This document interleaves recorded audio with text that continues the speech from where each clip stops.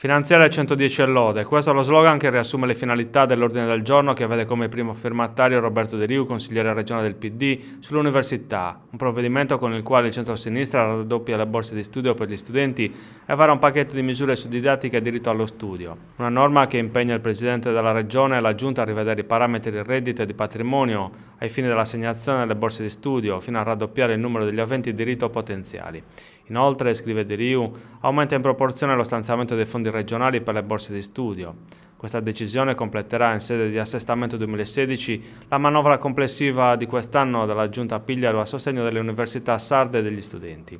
Secondo il consigliere De Rio, in questo modo si raggiungono due obiettivi. L'aumento del numero degli studenti attraverso un'effettiva garanzia del diritto allo studio anche per i meno abbienti, l'inizio di un processo virtuoso che consenta alle università sarde di recuperare competitività nei confronti del sistema universitario nazionale. De Rio ricorda nella nota che nell'anno accademico 2014-2015, con i fondi previsti dalla finanziaria 2014, solo il 60% degli studenti ha beneficiato della borsa. A complicare le cose è intervenuto il nuovo modello di calcolo degli indicatori reddituali patrimoniali, ISE e ISPE,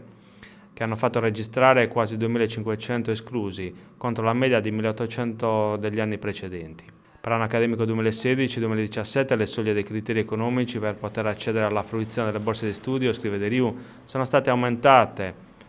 ma il raddoppio del numero delle borse di studio assegnate, conclude il consigliere del PD, permetterà di attirare nelle sedi sarde nuovi studenti che altrimenti deciderebbero di iscriversi negli attenei della penisola nei quali è più alta la probabilità di ottenere una borsa di studio.